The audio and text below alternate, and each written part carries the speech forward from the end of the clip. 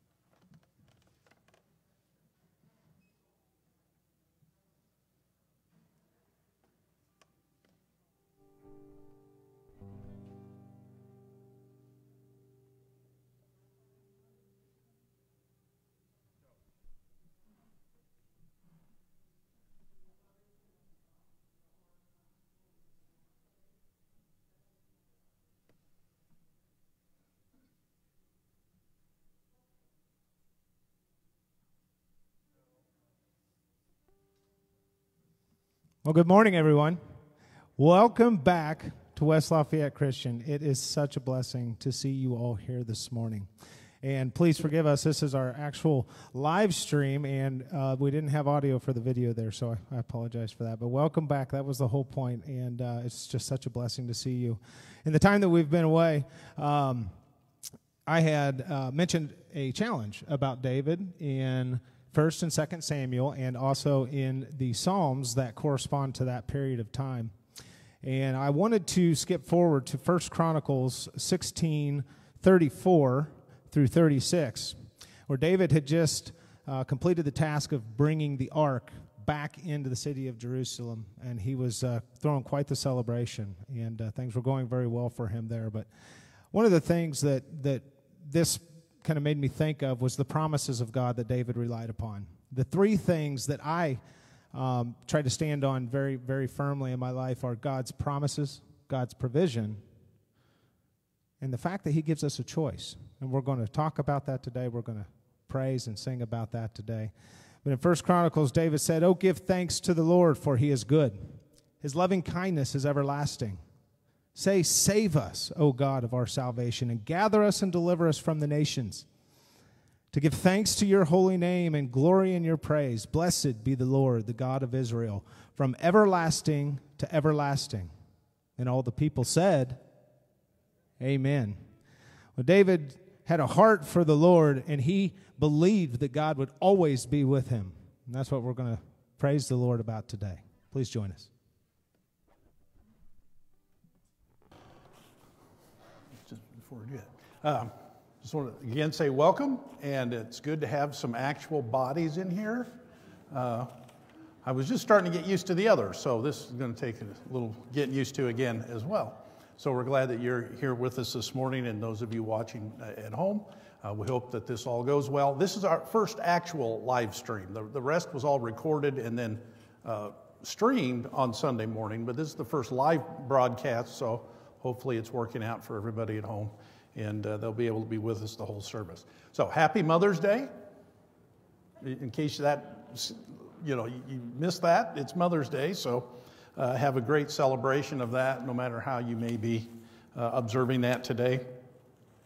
Uh, I, I, do want to give uh, some uh, thank yous for some folks over the last few weeks that have made what we've been able to do possible. And without them, we would not have been able to have our streaming service and, and uh, be able to meet in that way.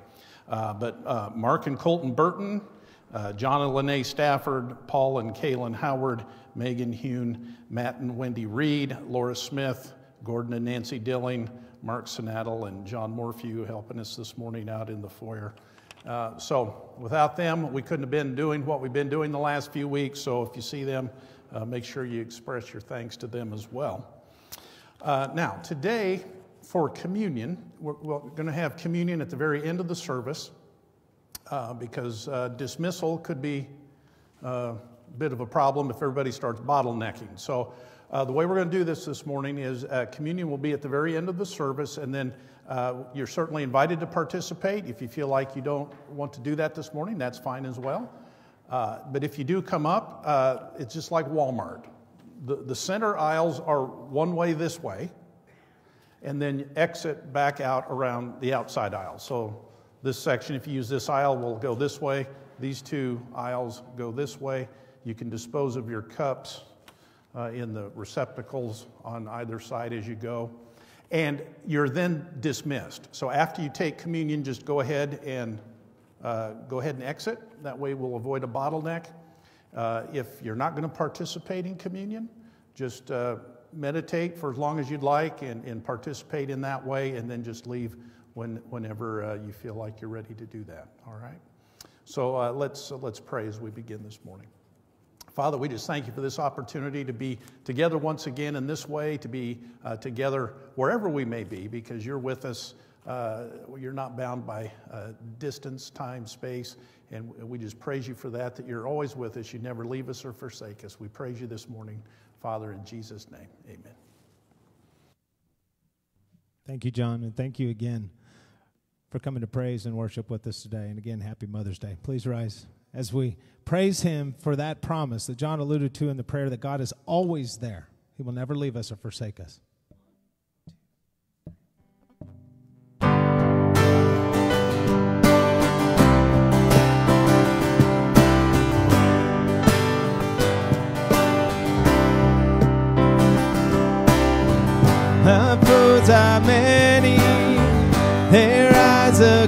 Against me, but I will hold my ground. I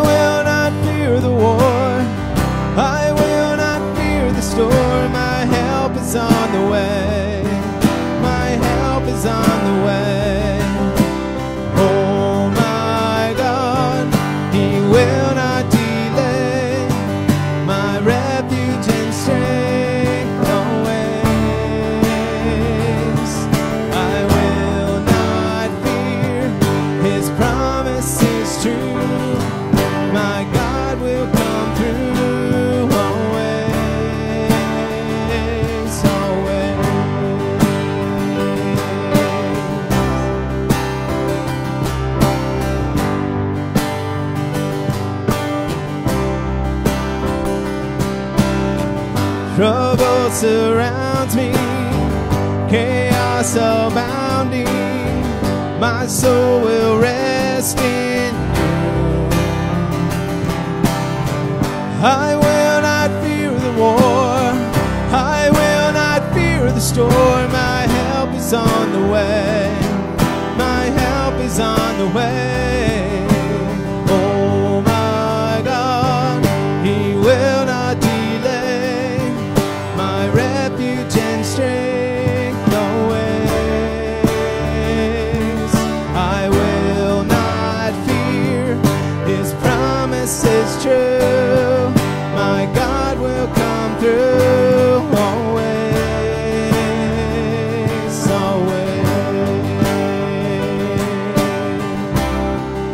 Lift our eyes to you, Lord.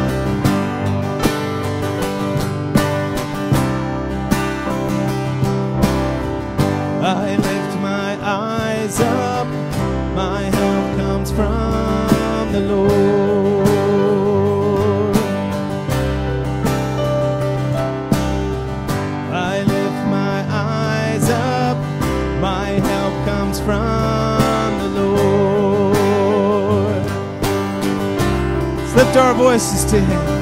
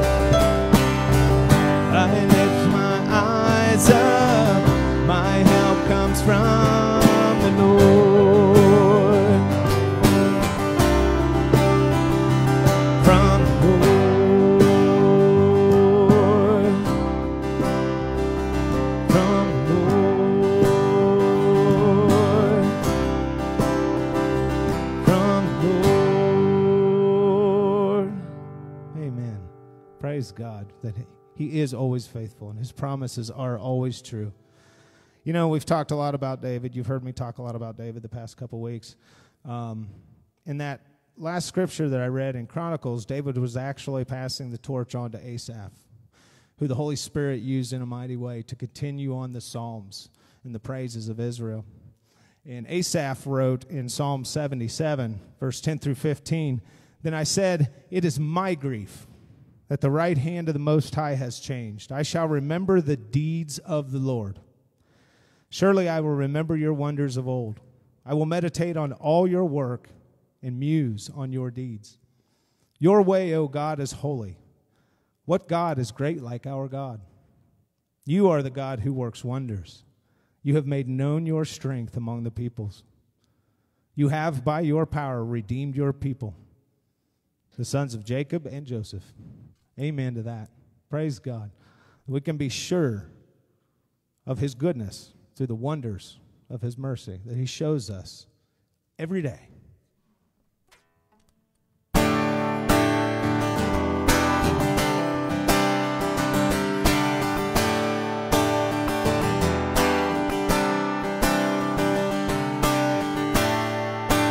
Lord of all creation,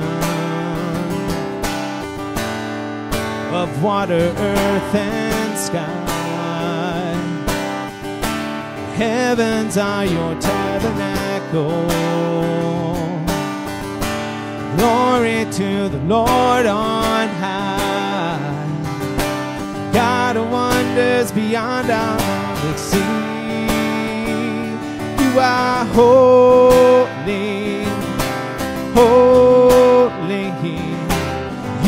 Universe declares your majesty.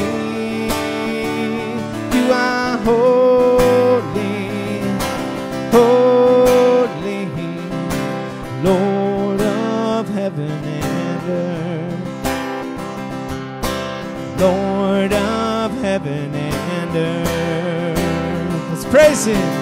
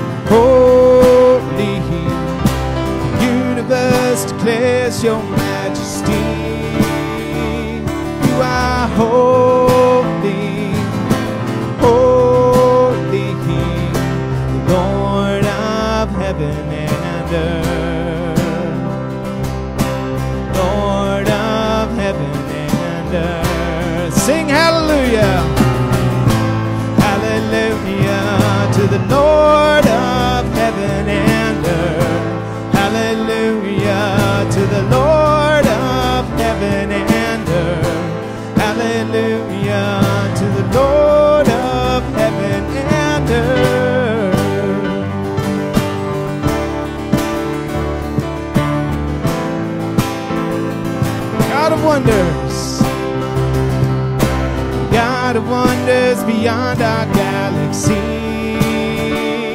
You are holy, holy. Precious Lord, reveal your heart to me. Father, hold me, hold me. The universe declares your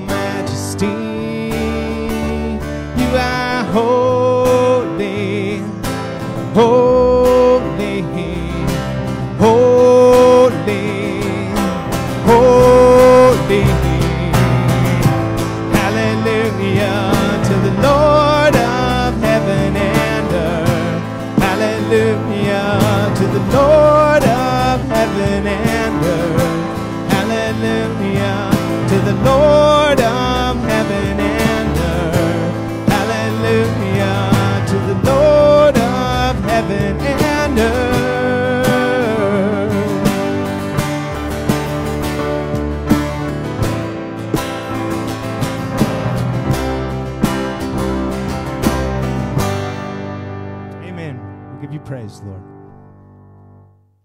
May be seated.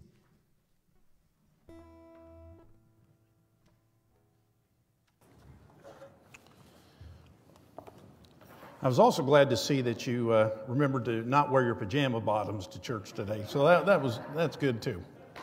Uh, want you to feel relaxed, but you know, you got to draw a line somewhere.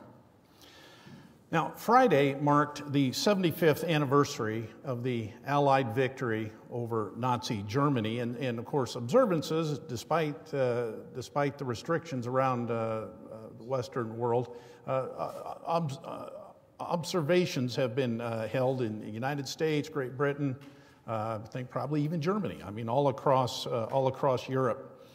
Germany was occupied by the Allied powers at the end of World War II and uh, it was divided among the, uh, the uh, conquering allies. At, at, Germany, the capital of Germany, was also divided into uh, allied zones of control. And uh, Berlin was actually over here, clear in the Soviet sector, but then uh, Berlin itself was divided among the conquering powers. France, Great Britain, and the United States controlled West Berlin, while the Soviet Union controlled East Berlin. Well, by the end of the 1950s, nearly 20% of the East German population had fled to West Germany. And this shift by younger, more educated Germans led to a brain drain that affected the economic stability and the political credibility of East Germany. The main gap that allowed that movement was through Berlin. So in 1961, the Soviets began construction on the Berlin Wall, which further escalated tensions during the Cold War. The symbol of the Cold War, representing that separation between East and West for the next 28 years, was Checkpoint Charlie in the American sector of Berlin. Checkpoint Charlie was designated as the crossing point for all uh, foot traffic, all uh, automobile traffic, for foreigners and Allied forces uh, passing back and forth between West and East Berlin. Uh, anyone leaving the West or returning from the East had to pass through Checkpoint Charlie. Now, checkpoints are those official stations, those route markers that must be passed through successfully. The Apostle Peter is now halfway through his epistle, and he's already starting summations. He is bringing things together with laser like precision. In doing so, he provides us with checkpoints through which we pass as strangers and aliens in this world as we are keeping our behavior excellent among the inhabitants of this world. Well, how do we know we're in the right place? How do we know we're on track? Checkpoints. We're at 1 Peter chapter 3, verse 8. To sum up, all of you be harmonious, sympathetic, brotherly, kind hearted and humble in spirit, not returning evil for evil or insult for insult, but giving a blessing instead, for you were called for the very purpose that you might inherit a blessing. For the one who desires life, to love and, and see good days, must keep his tongue from evil and his lips from speaking deceit. He must turn away from evil and do good. He must seek peace and pursue it. For the eyes of the Lord are toward the righteous, and his ears attend to their prayer. But the face of the Lord is against those who do evil. Now, the words of Peter are to all of you, whether you be citizens, employees, wives, husbands, as we looked at last week, whoever you are, wherever you may find yourselves, it's inclusive. All of you be, and then he gives his checkpoints. Checkpoints, first of all, on the internal side for thinking and feeling. And all of these, by the way, as we saw last week, require a submissive attitude. So here we go. Number one, harmonious. That word is literally same minded. The King James has it as one mind. So unity is certainly suggested by this word. But we shouldn't confuse that kind of unity with uniformity or unanimity or even just union. It doesn't eliminate individuality or independent thought or personal preferences. This is oneness of heart and mind and purpose. We would describe it as being on the same page. I will set aside my individuality, my thoughts, my preferences for the greater good of the kingdom. Now, that can only result from a strong position of submission to the Lord first and then to one another, undergirded by faith. Now, to be otherwise, as James says, is to be a double minded man, unstable in all his ways. It is not a position of faith, James says, but of doubt, and is like the surf driven, uh, the surf of the sea, driven and tossed by the wind. A double minded man, he says, ought not to expect that he will receive anything from the Lord. Now that's serious. This is not just about others, there is, there is personally much at stake here. Harmonious. Number two, sympathetic. Sympathes, which gives us the word sympathy. It's literally fellow feelings. It's to feel with another. It isn't to gloat or hold someone's suffering or joy against them or over them. It's to find connection and commonality in their sorrows and in their joys. It's to be similarly affected. When someone is mourning, we feel it and we mourn with them. When someone is rejoicing, we feel it and we rejoice with them. There's no scorn over their mourning, there's no jealousy over their rejoicing. It's real, it's genuine, sympathetic. Number three, brotherly. Philadelphos. This is closely related to the word Philadelphia, not located in Pennsylvania, but located in chapter 1, verse 22, as love of the brethren. Philadelphia. Now, here, the King James has it as love as brethren. By sharing in the new birth, born again of imperishable seed, together we are now the people of God. As brethren in the same family, love as brethren. Now, agape, right? Agape is another form of love, which we often encounter in the New Testament. And agape is the choice to love. It requires faith to love in an agape kind of way. Now, while agape is not completely devoid of emotions, those feelings may be present or they may not be present, at least at the beginning. Philadelphos is the kind of love that expresses itself in friendship and affection. Yes, we love by choice and by faith, agape, but we also love with friendship and affection, adelphos. And that's often expressed in the kind of fellowship we have with one another. Brotherly. Number four, kind hearted. Now, this is a cool word. It is literally good bowels or well bowels. The bowels or the viscera were considered to be the seat of emotions. We talk about the heart, well, just go a little lower. The viscera, that was the seat of emotions. Uh, we, we retain that idea a little bit when we talk about having a gut feeling. Or if someone has an emotional outpouring, you know, they spilled their guts. See, same kind of idea. It also gives new meaning to the term, you move me, baby kind heartedness, well, that's Mother's Day, guys. You can take that home and use that at home, right? Kind heartedness. Now, that's in contrast to hard heartedness. It expresses a tenderness of heart toward others, no callousness. See, Jesus was often moved and motivated with this kind of compassion and tender affection, kind hearted. Number five, humble in spirit, literally low minded.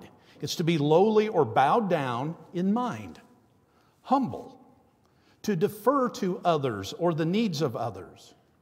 Jesus, the King of Kings, said, I am gentle and humble in heart. Having the same attitude in yourselves, the Apostle Paul says, you are to do nothing from selfishness or empty conceit, but with humility of mind, regard one another as more important than yourselves. Now, that's a great working definition of this kind of humility. Now, Chris and I had the other evening a bit of a dis- disagreement, I guess might be the best way to describe it. She wanted me to wear a mask this morning. Now, I know this will surprise almost all of you, but I, can be a bit stubborn at times. Now, I, know that's maybe a shock, but it's true. And I was bound and determined not to wear a mask for a variety of reasons. I despise it, I resent it, I resist it. But in going over this point, I wore it this morning not because of what I wanted, but for you. See, that's this kind of humility that puts the needs of others foot, uh, of others first. Following in the Lord's footsteps, we're to be humble in mind. Now, if you go back and meditate on each of these checkpoints, you can detect that each lays the groundwork for the next. It's like stair steps, one leads to the other. Being same minded leads to fellow feelings, which leads to brotherly love, which leads to kind heartedness, which leads to humble mindedness. But these checkpoints for thinking and feeling are not the only ones on Paul's mind.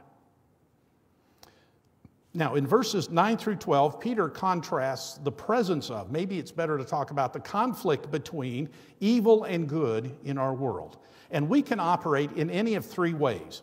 We can return evil for good. Now, that's a satanic way of responding, and we see plenty of that in the world today.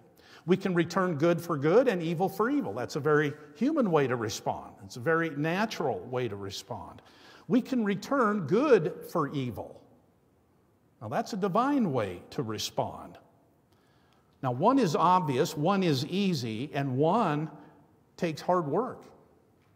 It, it costs us something, it requires something of us. How can we put ourselves in a position to engage in the latter? Well, Peter on the external side has some checkpoints for doing and saying. Number one, verse 9. Rather than return insult for insult and evil for evil, give a blessing instead. And the reason you give a blessing rather than respond in kind to such abuse is that you have been called for the very purpose that you might inherit a blessing. As someone blessed in Christ, and to be blessed, you give blessings to others, even when they do not deserve it because you did not deserve a single one of your blessings in Christ. It is an act of mercy. Now, what of Jesus? Back in chapter 2, while being reviled, he did not revile in return. While suffering, he uttered no threats, but kept entrusting himself to him who judges righteously. You know, hitting back is what children do. This kind of restraint is the mark of maturity. When we return insult or evil, it's our effort to get back at the offender, our attempt to even the score. What does this require? It requires trust in the judge who will righteously settle all accounts. And verse 12 gives us a, a glimpse of this well placed trust. The face of the Lord is against those who do evil. Here's the guarantee of righteous judgment. And we can trust the judge to settle accounts, all our accounts, far better than we ever could on our own. Number two, verse 10 keep your tongue or lips from evil. Now, make no mistake about it, death and life are in the power of the tongue, and those who love it will eat its fruit. You know, Peter knew the consequences of hasty speech. His mouth was constantly writing checks his flesh could not cash. Taming the wildfire of the tongue is how James might describe it. Getting the tongue under control. He who guards his mouth and his tongue guards his soul from troubles, plural. It's guarding your soul. And this, by the way, is also on the pathway to blessing. When a prayer is uttered by such a tongue, verse 12, the eyes of the Lord are toward the righteous, and his ears attend to their prayer. Wow. That's a blessing none of us can afford to go without. Number three, verse 11 do good. Do good. Now, your good deeds, they are not just a flash in the pan.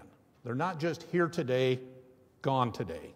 Your good deeds span the expanse of the created time space continuum. They reach clear back to the first day of creation and extend to the last day when Jesus Christ returns.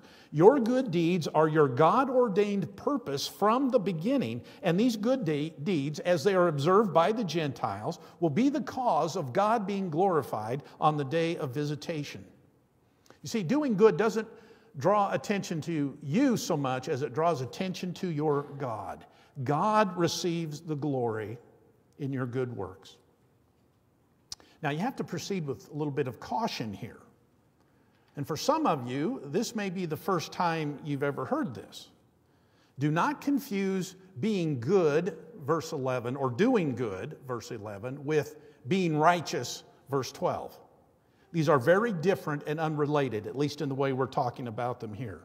Good is what we do for God's glory. Righteousness is what we receive from God in Christ on the basis of faith. Significantly different. Doing good does not make you righteous. Doing good does not cause your stock to go up in God's eyes. Doing good is not why anyone, in fact, no one will get into heaven by doing good. The tragedy of hell is that it will be populated by good people. Only by faith in Jesus Christ will God give you, He will apply to your account the righteousness of Jesus Christ. This righteousness is what puts you in right standing with God. This righteousness, the righteousness of Christ on your account, is why and is the only way you will ever get into heaven. And notice it isn't just about doing good, it's also about turning away from evil. Now, we tend to think of evil as a pretty extreme term. You know, we don't typically think of ourselves, our actions, our deeds, our thoughts as evil. We know we do wrong, we know we're sinners, but evil? No, not really. I mean, we are basically good people. Well, Jesus made the passing observation that you, being evil, know how to give good gifts to your children. See, evil often has the appearance or veneer of good, which may allow it to fly under the radar. Now, we can see evil in the world around us when it happens, we can see evil in others, but that revulsion is, is rarely applied to ourselves because we fail to see that our actions, our lives, our thoughts, are truly evil in the eyes of a holy God. And until we understand that, until we see what our sins really are before God, evil, until we are overcome by a crushing sense of woe and are undone by our sins, we will not turn away from evil. And turning away isn't just dodging evil. You know, it's not just swerving out of the way. It's it's avoiding it, it's staying completely away from it, it's having nothing to do with it. You have to think about the word repentance here. You turn from going this direction, evil, to go a completely new direction, good. And this too is itself a pathway of blessing. Repentance is one of the greatest blessings that the Lord has given to each of us. And then, number four, verse 11 seek and pursue peace. Now, we are right back to where we began, verse 8 harmonious. Those, in fact, who live according to verses 8 through 10 are those who seek peace and pursue it. It's impossible not to contribute to peace if you are harmonious, sympathetic, brotherly, kind hearted, humble in spirit, a giver of blessing, a keeper of your tongue, and a doer of good for the glory of God. The preacher in Ecclesiastes, he's the narrator of the book. He spends 12 chapters examining his life from a materialistic perspective. And, and, he realizes that everything is futility and striving after wind. His reaction so I hated my life. I hated my life. You know, everyone's been experiencing stress these days, even believers. I mean, the incidents of depression, alcohol consumption, abuse, and even suicide have gone up. We're hearing about an existential crisis in our country today. Now, why is that?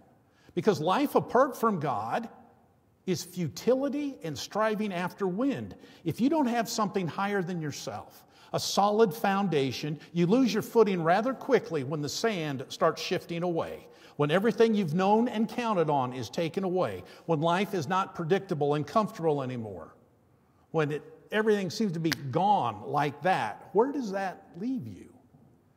Well, the preacher comes down to the end of it after 12 chapters with the burden of life hanging over him, and he's left with no other conclusion than fear God and keep his commandments, because this applies to every person.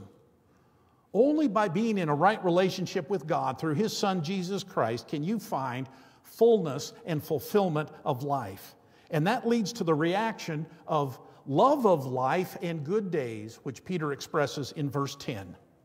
You know, some people choose to escape life. Others choose to endure life. Others still, like Peter, love life, even though in the not too distant future he will give up his life in martyrdom for his faith in his Lord and Savior. So, good days do not mean trouble free days, but you will have purpose, meaning, direction, and hope, regardless of what those days hold. That makes them good days, even in trying days like these. Checkpoints for good, day, good days, point for point. How are you doing? Where are you? Evaluate yourself. How do you score in each of these areas? What, what, are you doing to grow in these areas? What could you be doing to grow in each area? Keep pressing on, checkpoint to checkpoint. Keep moving forward. Let's pray. Father, we just thank you for uh, these words from Peter on uh, this day that uh, we can look at our lives and see how we're progressing, how we're doing, how we should be living here and now, no matter who we are, as mothers, fathers, children, wives, husbands, single individuals, men, women, whoever we may be, wherever we find ourselves in life. Father, as we follow you, we can make a difference for you as we, as we meet these checkpoints in our journey along the way. Father, we just pray that you will powerfully impact the world around us through the lives we live, through the faith we have in you. And Father, especially at this time when, when people need to see there is a higher purpose in life, that there is a hope to be uh, lived for, a hope to be enjoyed, a hope that gives uh, true direction and meaning to life, that we would be the ones leading the way, letting that light shine in your name. Father, bring glory to yourself in these hard times that others will find you as a result. We pray this in Jesus' name. Amen.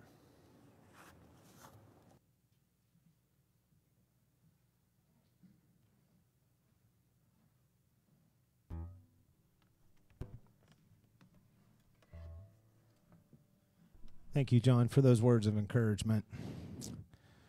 We don't just hold these things to be true because they make us feel better. We speak them because we believe them, because they're the written word of God. And we talked at the beginning about God's promise that He will always be there, His provision through the wonders of His might, that He performs His miraculous works in the world. But the third thing was choice the things that John spoke of on the checklist, the things that we see in the life of David, the things we see throughout the scripture, those are things that were chosen. There was a, a season in my life where I struggled very badly and very, very difficultly with the, the fact of working out your own salvation. And what I've come to realize is that it's just simply putting on Christ every day and making the choice in the midst of our circumstances to choose to believe Him his words are true, but whether they affect our lives is our choice. So as we continue to praise him and wrap up our service today, please purpose in your heart, those watching at home and those here with us today, moving forward as this situation unfolds. Every day we make the choice, and the choice is ours and ours alone. And we have the choice to stand on what we see and what we feel, or we can stand on the written word of God that was given to us in love. So let's praise him and stand in his love today. Please join us.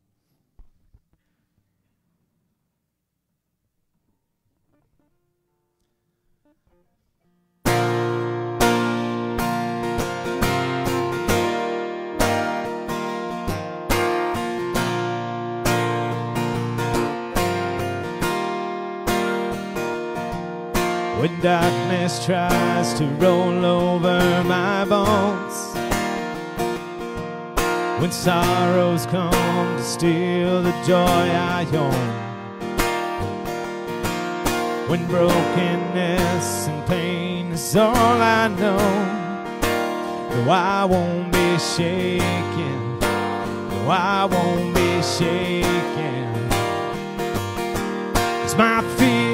Doesn't stand a chance when I stand in your love. I'm not fear doesn't stand a chance when I stand in your love, and my fear doesn't stand a chance when I stand in your love.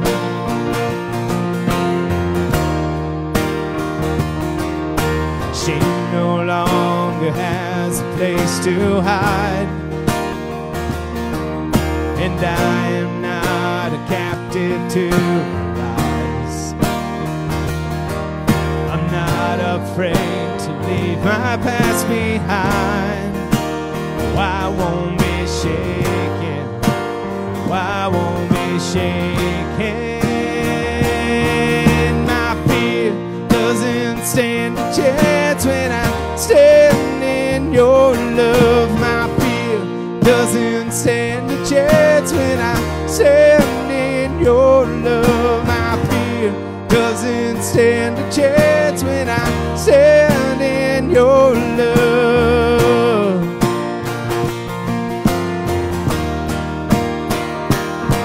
There's power that can break off every chain. There's power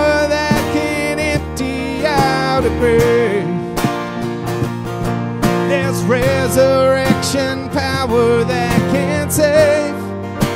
There's power in your name.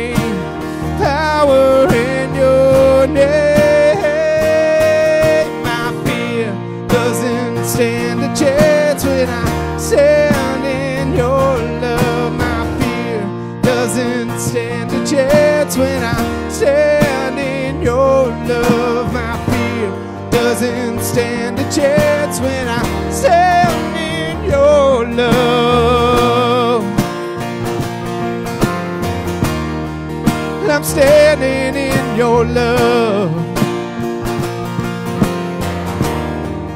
I'm standing on the rock.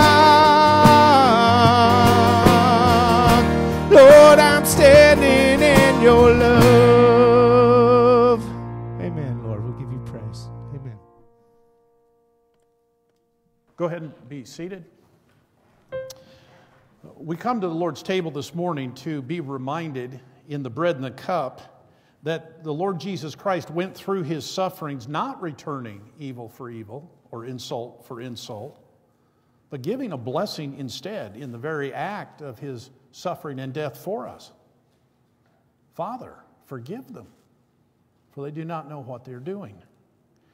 And so, in that suffering and death, through that suffering and death, we inherit a blessing. A blessing that we too will be glorified with him when he returns on the day of visitation. So, in a moment, as you're ready, just come on up, share the emblems, and then go in peace. Let's pray.